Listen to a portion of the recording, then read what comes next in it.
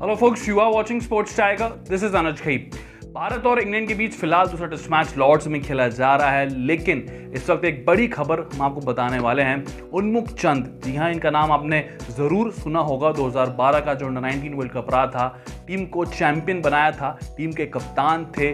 उन्होंने Indian cricket को अलविदा कह दिया है। रिटायरमेंट उन्होंने जो है क्रिकेट से ले ली है। बहुत ही ज़्यादा शॉकिंग ये न्यूज़ है और मात्र 28 साल के इस वक्त उन्मुख चंद हैं। और उनका एकदम से ये फैसला लेना काफ़ी ज़्यादा जो है इस वक्त चर्चा में बना हुआ है। रिपोर्ट्स के मुताबिक ये भी कहा जा रहा है कि यूएसए में जो है वो जाके अपने क्रिकेटिंग करियर की जो जर्नी है, उसको रिज्यूम कर सकते हैं। इससे पहले हमने देखा था कि अंडर नाइनटीन टीम के ही विकेट कीपर 2012 जो वर्ल्ड कप टीम जीती थी उसमें भी जो है स्मिथ पटेल जो हैं, वो विकेट कीपिंग कर रहे थे और वो भी अब यू यूएसए शिफ्ट हो चुके हैं। ऑलरेडी वहाँ पे जो उनके क्रिकेटिंग करियर की एक तरीके से जर्नी है, वो वापस से शुरू हो चुकी है।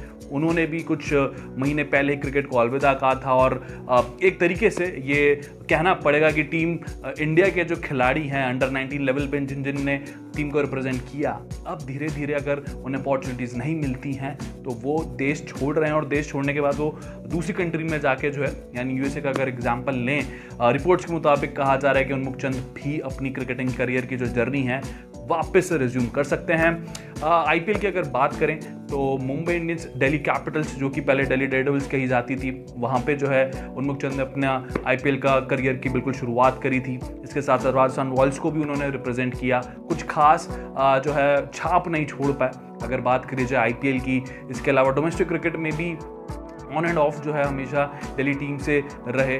कभी मौका मिलता था तो उसे कैपिटलाइज नहीं कर पाए। डोमेस्टिक क्रिकेट में इतने सक्सेसफुल नहीं हो पा रहे थे तो दिल्ली छोड़ के उत्तराखंड भी गए।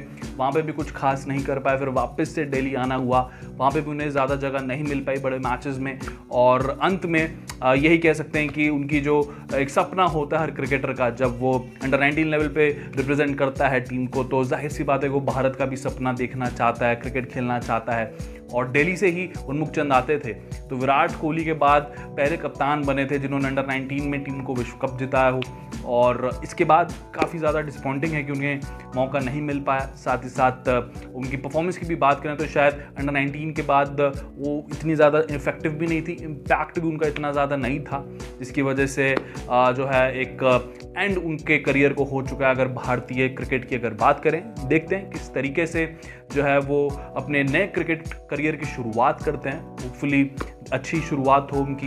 रिपोर्ट्स के मुताबिक ज़रूर आप ये कह सकते हैं कि अमेरिका में ही वो अपने आगे के क्रिकेटिंग करियर को देखते हैं। ऑल द बेस्ट ज़रूर हम कहना चाहेंगे उन्मुख चंद को उनके आगे आने वाले क्रिकेटिंग सफ़र के लिए। फ़िलहाल इजाज़त दीजिए उन्मुख चंद को लेकर आपका क्या कहना है, ज़रूर आप हमें कॉमेंट सेक्शन में बता सकते हैं।